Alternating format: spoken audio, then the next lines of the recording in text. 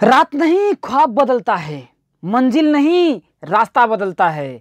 जज्बा रखो हमेशा जीतने का, क्योंकि किस्मत बदले, ना बदले वक्त ज़रूर बदलता है। इस खूबसूरत लाइन के साथ नमस्कार दोस्तों, स्वागत करता हूँ आप सभी साथियों का, आपके अपने YouTube channel Saxena CP classes में।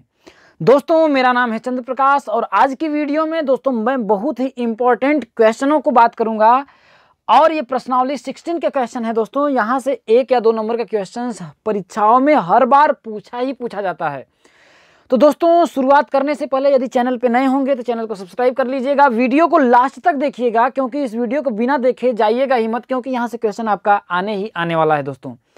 तो यह वीडियो दोस्तों, आप लोगों के लिए बहुत ही इंपॉर्टेंट होगी। तो ज़्यादा ना बात करते हुए दोस्तों, हम लोग शुरुआत करते हैं।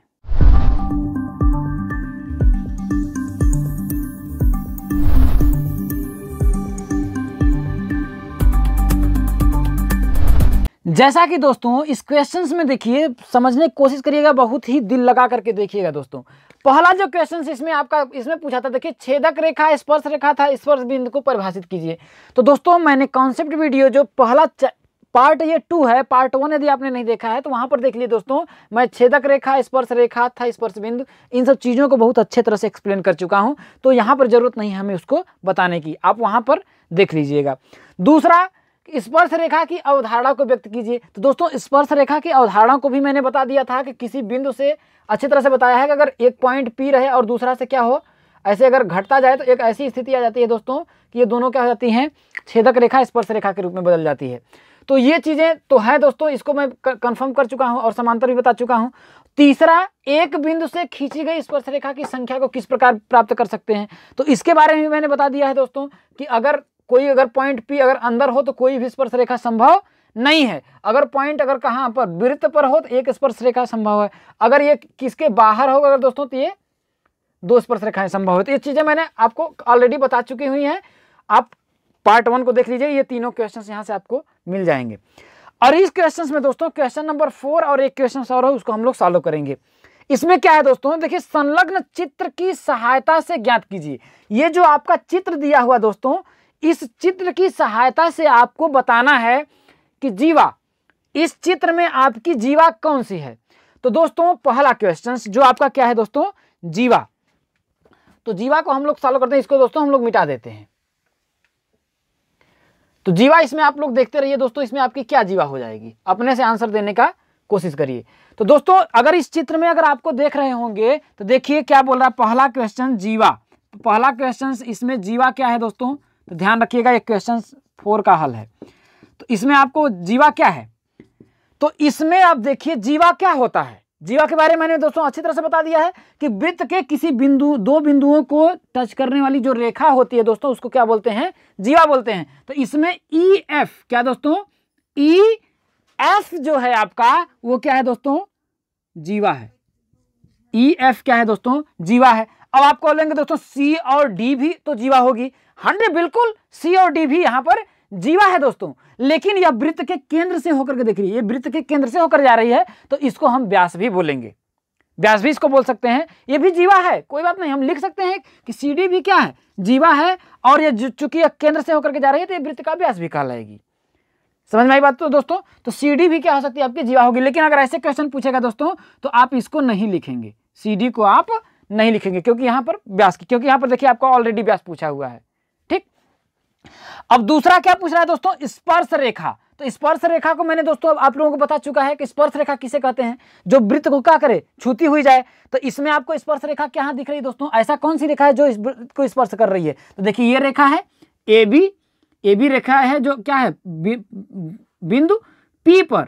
बिंदु पी पर क्या कर रही है? वृत्त को स्पर्श कर रही है। तो तो स्पर्श रेखा कौन सी हो जाएगी दोस्तों आपका? ए बी क्या हो जाएगा दोस्तों? दूसरा क्वेश्चन का आंसर क्या हो गया आपका? स्पर्श रेखा। स्पर्श रेखा क्या हो जाएगी दोस्तों आपका? ए बी ये हो जाएगा दोस्तों। तीसरा स्थिति में आपसे पूछ रहा है दोस्तों कि छेदक रेखा। कौन सा दोस्तों? तीसरा छेदक रेखा। तो छेदक रेखा आप बताइए। छेदक रेखा मैं आप लोगों को अच्छी तरह से बता चुका हूँ। कि छेदक रेखा छेदक रेखा क्या हो जाए दोस्तों? दो बिंदुओं पर, वृत्त के किसी दो बिंदुओं पर क्या करे? प्रतिच्छेद करे। मतलब मैंने अच्छी तरह कॉन्सेप्ट वीडियो अगर बता दिया, दोस्तों, अगर आप कॉन्सेप्ट वीडियो देखते हैं ना तो हवा में उड़ाएँगे इस क्वेश्चन को, हवा में। तो क्या हो जाएगा देखिए एस टी यहाँ देखिए। अगर एस टी देख रहे हैं तो यहाँ देखिए, यहाँ पर भी छेद कर रही है, यहाँ पर भी प्रतिच्छेद कर रही है। तो एस टी क्या हो जाएगी दोस्तों आपकी? छेदक रेखा। छेदक रेखा क्या हो जाएगा दोस्तों आपका? एस टी चौथा क्वेश्चन क्या हुआ दोस्तों? त्रिज्या। तो त्रिज्या यहाँ पर क्या है? तो दोस्तों, त्रिज्या। तो यहाँ पर त्रिज्या आपका क्या हो जाएगा? तो देखिए, ध्यान रखिए, अगर हम बोलें दोस्तों तो यहाँ पर देखिए ओसी और ओडी भी क्या हो जाएगा?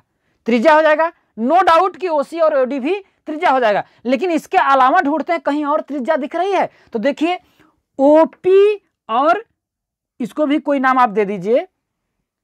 कोई नाम आपका आर दे देते हैं। क्या दोस्तों? आर दे देते हैं। कौन सा नाम दे देते हैं दोस्तों?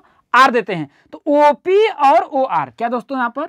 ओपी और ओ आर त्रिज्या क्या हो जाएगा दोस्तों? ओपी और ओ आर नो डाउट कि ओसी और ओडी होगा। लेकिन उसके अलावा भी हमको कहीं दिख रही त्रिज्या तो पहले इसको हम लिखें, क्योंकि इससे क्या है दोस्तों? व्यास आपका जुड़ा हुआ है।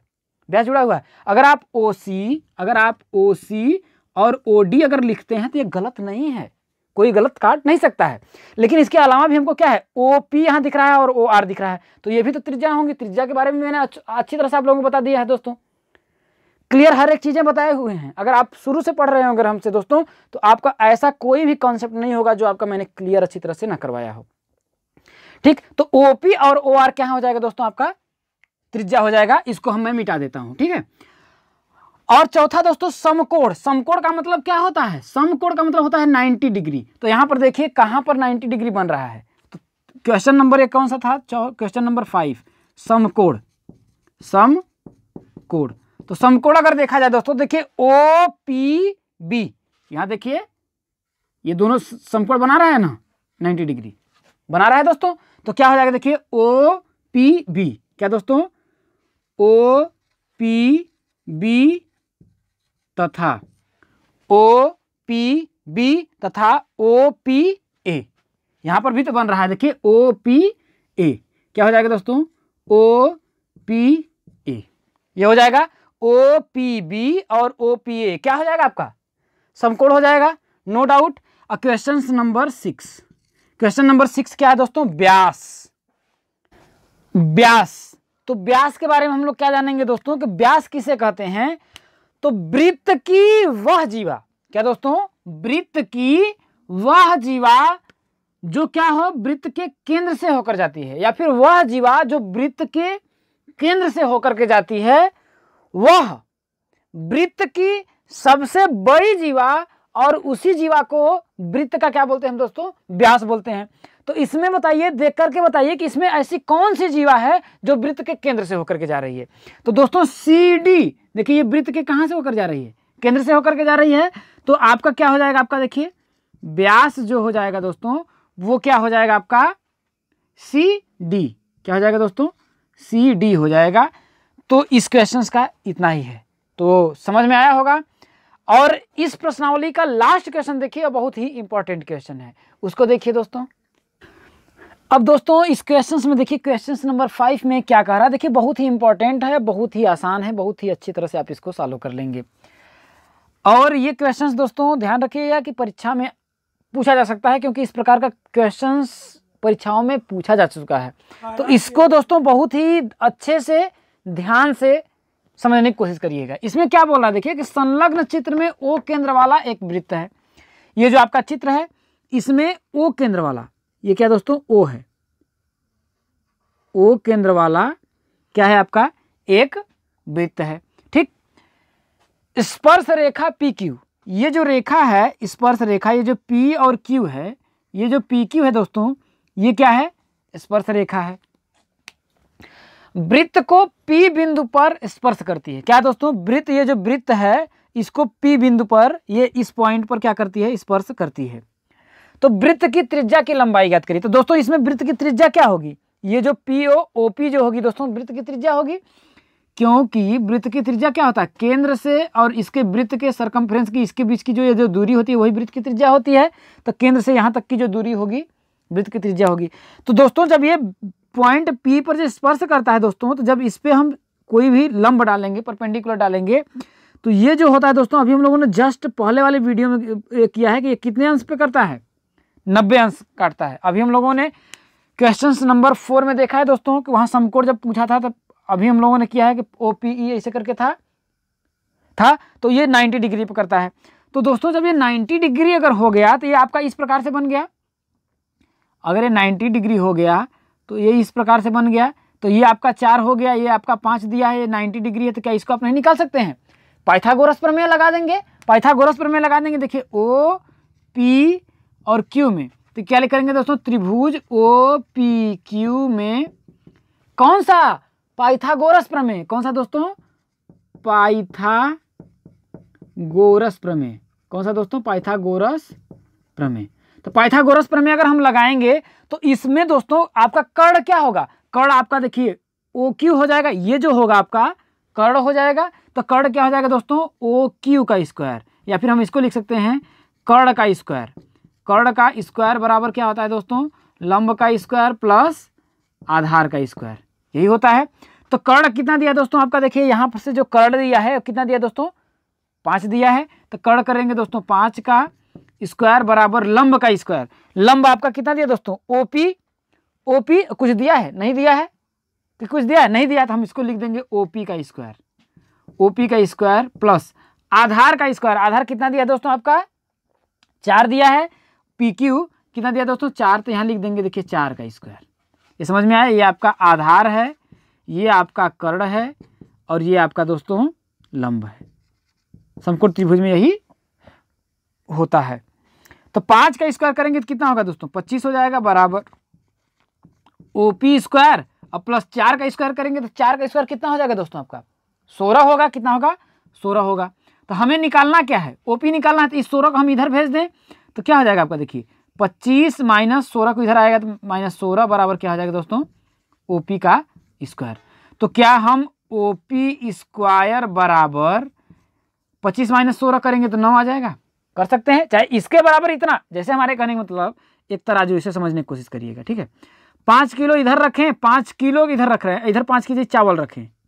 बात समझ में आया? तो चावल को इधर कर दें या फिर इसको इधर कर दें, बात बराबर है। तो ओपी स्क्वायर को इधर करके बराबर इतना कर दिया दोस्तों। ठीक?